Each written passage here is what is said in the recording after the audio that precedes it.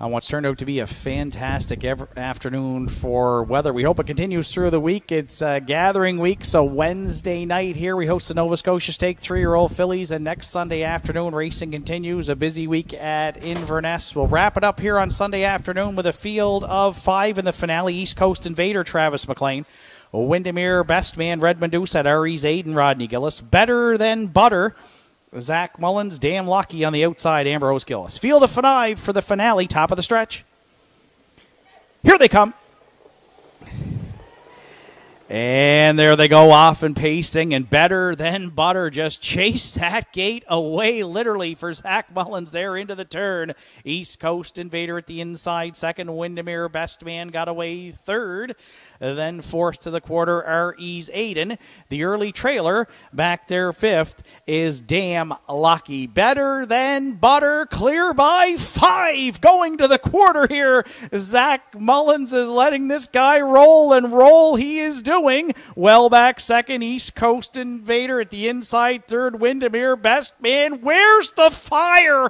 27 and 3. Better than butter might melt them here on the finale at Inverness. Clear by six in front of us first time. East Coast Invader inside second. Windermere Best Man sat in third. No movement yet from Aries eight and fourth. Damn lucky trying to get motivated from back there fifth. Can't wait to see the midway point fractions here today from Better Than Butter. 57 seconds flat opening half mile. East Coast Invader now a bit closer second. Windermere Best Man two more lengths back third. Then Aries Aiden gapping fourth and Damn Lucky with work to do with the backfield fifth. Better Than Butter now uh, starting to hit a wall here at three quarters and East Coast Invaders out of the pocket and on to argue second. Windermere Best Man a bit closer third. Then fourth to Aries Aiden and Damn Lucky trails. East Coast Invaders taking over at three quarters in 127 and 4.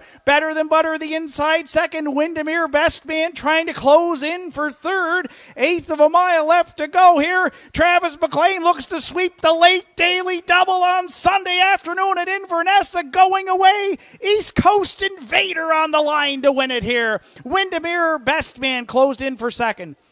And R.E.'s Aiden closed in to finish third and one. 58 and 1.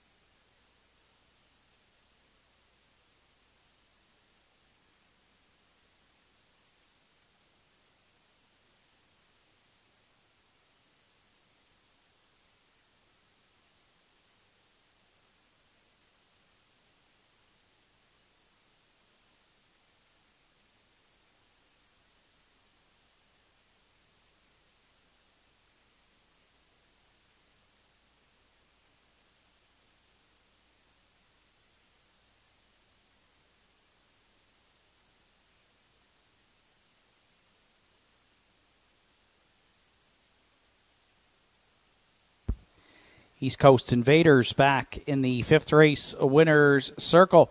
Five year old Big Ellie by roll with it. Harry from the Bettor's Delight, dam Manhattan Delight. For corners, Todd and Monica Sutherland, Port Hood. Monica Sutherland trains Travis McLean in the bike for the win. First on the season for East Coast Invader.